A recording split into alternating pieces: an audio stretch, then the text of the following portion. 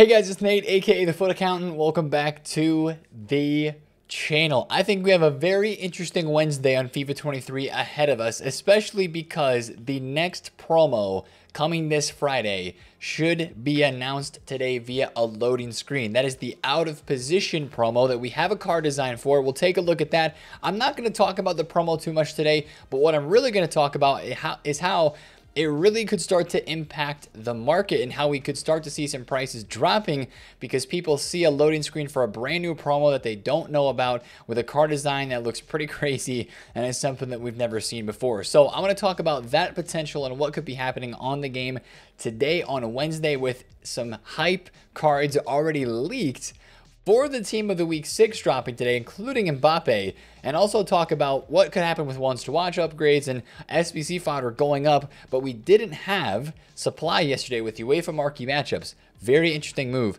by EA Sports. There's a lot to talk about today, so buckle and get ready for it. Drop a like if you're enjoying the videos and subscribe if you're new. Let's talk about the kind of the main piece of content for today on Wednesday related to what's coming this weekend, and that is, I believe, a loading screen. Now, we won't dive into the, this promo too much yet because I think we could get some more information from EA Sports today, but this is the card design. This was tweeted last Friday, right? We've known about this card design for a couple of days.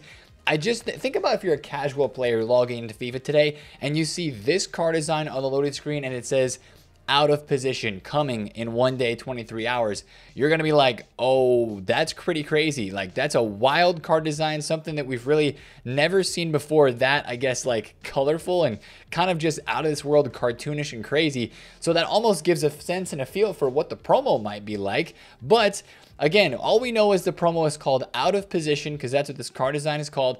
And this is the design. So just like we've gotten on Wednesdays, I would expect to see a, a loading screen today that says out of position or something like that uh, coming in one day 23 hours and maybe an ea tweet giving us just a little bit more information about what the promo might be like. But what i think that could kind of begin is the start of some market drop off and the start of basically this really high market that we are in right now. I think you might start to see some prices start to slide down. I'm not trying to create panic today. I'm not trying to tell you that you have to sell cards from your team right now whatsoever. That's the exact opposite of what I'm telling you. I'm just saying that there might be an opportunity to sell some cards for a little bit more today um, before those prices could continue and, and could start to fall off a little bit. I mean, especially I think of gold cards, right? Gold cards this weekend. Think about it. If people have not been very hyped during this Rule Breakers promo, they're going to be saving their rivals rewards come tomorrow and Thursday. They're going to be saving marquee matchups packs come Thursday. And a, a bunch of people are probably going to start saving player picks, 75 plus player picks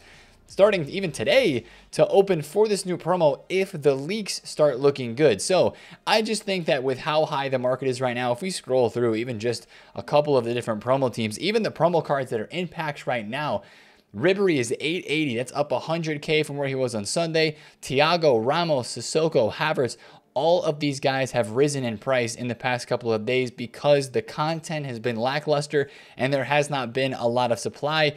And that's how the rest of the market is reacting as well. Your road to the knockouts are up. Your ones to watches are up. Your out of packs informs. Salah is like 630,000 coins. Some of your team of the week one informs. De Bruyne is like 700k and Son is 500,000 coins. Inform Valverde 200k. That's the highest he has ever been since he has gone out of packs. Same thing with like Leao and Ben Yedder. Those guys just keep going up. It just feels like the market right now is very very high and very kind of stagnant at this high price and I just think that a loading screen today would start to begin. What we normally see on Wednesdays is a slight dip on the market. We usually see that, right? Because people start to get worried about the supply from division rivals rewards and the supply from marquee matchups and the promo that's coming on the weekend and stuff like that. But I think a loading screen could maybe accelerate that panic selling and get people thinking about this promo because let's be honest, Rule Breakers has been a bit of an L, right? It's been lackluster, and that means there's a lot more built up anticipation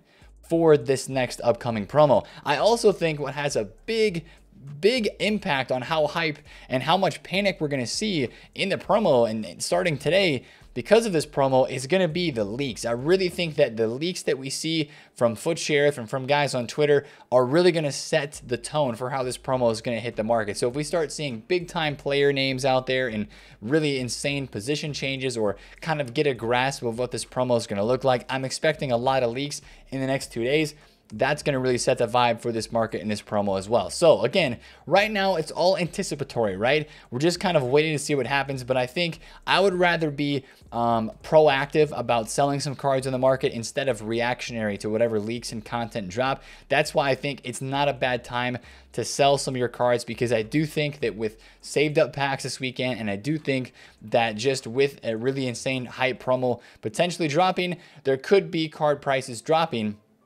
in the next couple of days. Uh, they would make it worth it to sell and then look to rebuy uh, at some point on maybe Friday um, when prices are lower. We should see a good amount of panic selling, I think, on Friday again. We have not seen that in the last couple of weeks. So, um, again, I'm not saying the market's going to absolutely die today. Like, I'm not saying that whatsoever. I just think that it could be the beginning of some prices going down. Now, let's talk more about today because even some of the panic and some of the hype related to today on Wednesday is for the team of the freaking week, man. Team of the Week 6 is already leaked with three big boy players in it. A ones to watch De Ligt, who's going to get a double upgrade today. His OTW with the three win wins to watch upgrade, and the inform is going to go from an 85 to an 87. We'll talk about that card in a second. But of course, headlining this week's Team of the Week, Mbappe and Ousmane Dembele. And this leak right here um, you know, I, I think it's got a lot of people really excited for this team of the week, and it kind of just injects a bit of hype into what's been uh, a pretty quiet Rule Breakers promo. Again, despite a couple really exciting days like the Hero Pack and stuff like that. But of course, you've got the gold card for Ousmane Dembele yesterday, going from 60,000 coins this leak coming out, and he's skyrocketed up to 66,000 coins. Gold Mbappe is rising up as well, as of course people anticipate his gold card going out of packs, and then of course this Inform being super duper expensive uh, whenever it would drop on the game today and of course throughout the weekend. But what this really shows me is a lot of times when EA put out a really sick team of the week, that means the promo that comes on the weekend is also really sick and they're trying to sell those packs and you can tell right this is also what ea does right they'll drop a couple weeks of content that are just a little bit okay, right? We keep using the words lackluster and L. Uh, I guess that's a letter, not a word, but we just keep using that sort of um, descriptive terms to describe how this Rule Breakers promo has been.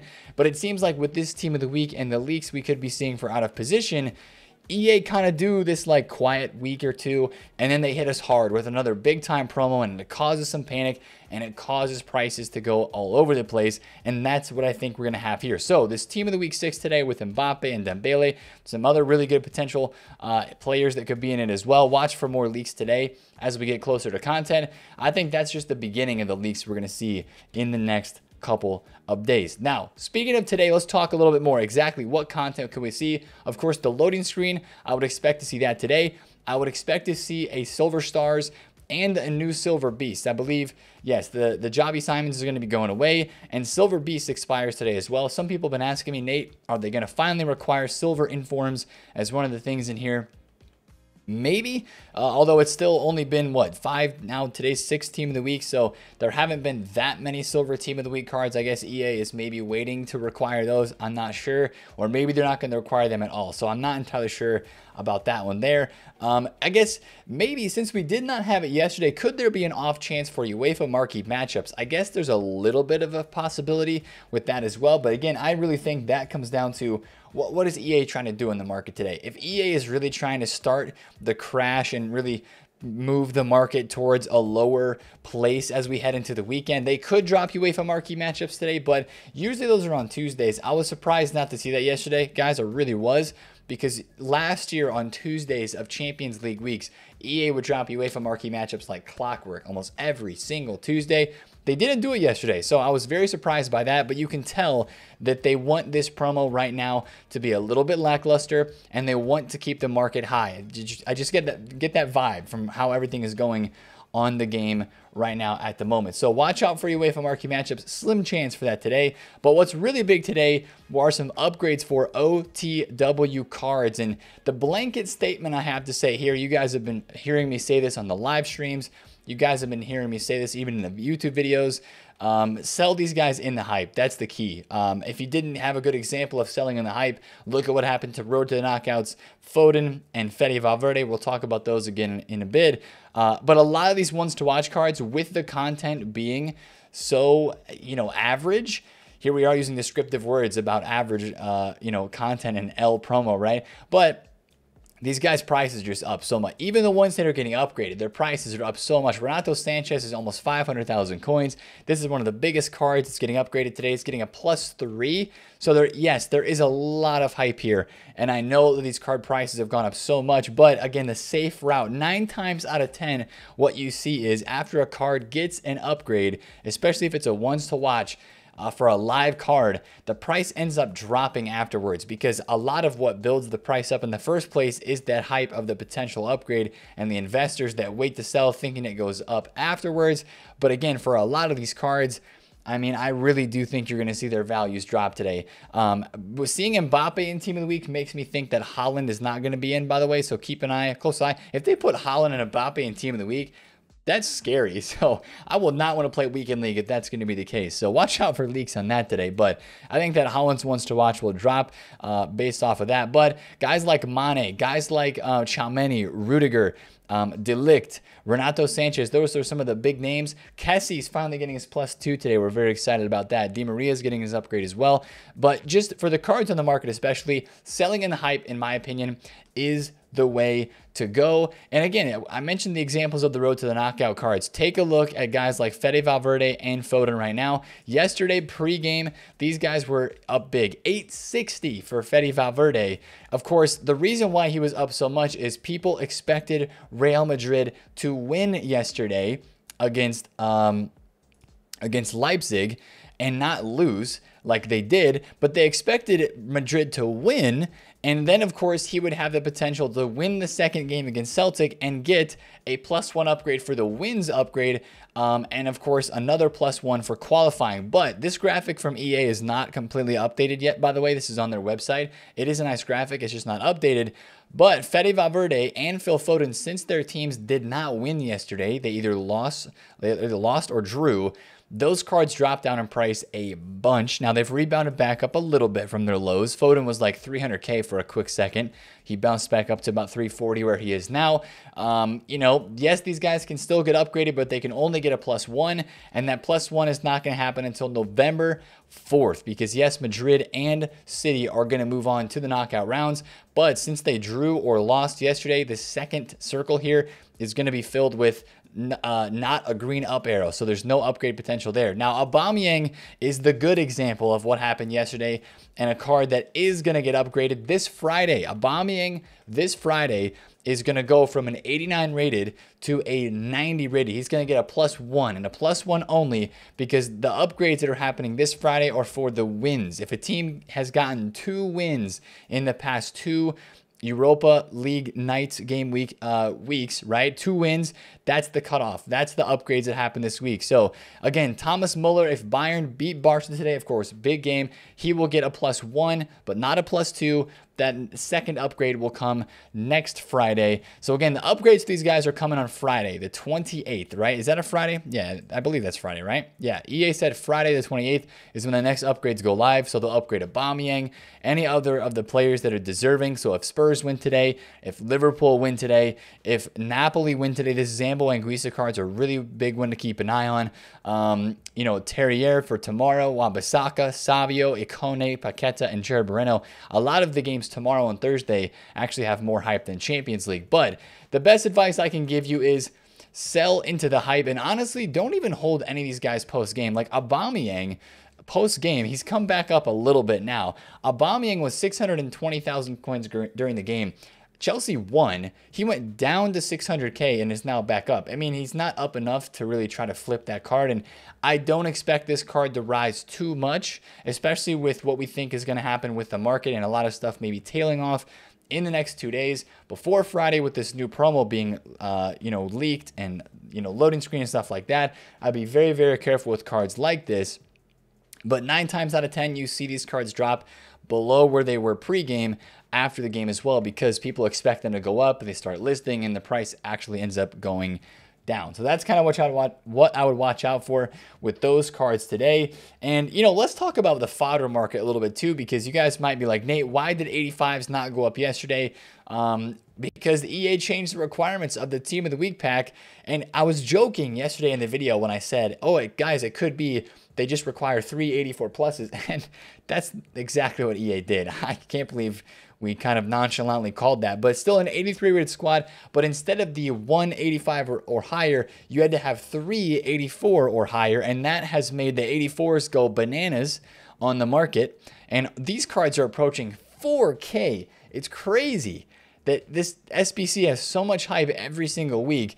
85s are actually down a little bit, 86s are down. Your fodder has started to trickle off as we head into today on Wednesday, but your 84s went crazy because of course everybody was going out and doing this SBC. So that's what it comes down to all the time with SBC fodder guys. I mean, it really just comes down to the specific requirements that EA has. Um, and you know, the the market on fodder could have been a lot different yesterday if we would have had UEFA marquee matchup. So I I think what we said in yesterday's video still was very very good because if you sold your fodder pre 6 p.m., it was good, right? I mean, look at Tiago. It's an 86 rated card. He was still 16K. Yesterday, he went down to 14K where he is now. So I think if you sold your fodder yesterday, all but 84s, um, you know, you were happy with the profit. Now 84s, of course, went up because of those requirements, but that's that's really tough to guess, right? And that's really tough to you know, really call what EA is going to do and calling the fodder movements, um, you know, is, is pretty tough sometimes. So GG's if you held the 84s, but also GG's if you sold your fodder yesterday before content because that was kind of the max price uh, for that stuff there. Now, for today on the market as well, like I said, I'm not expecting a really big market crash.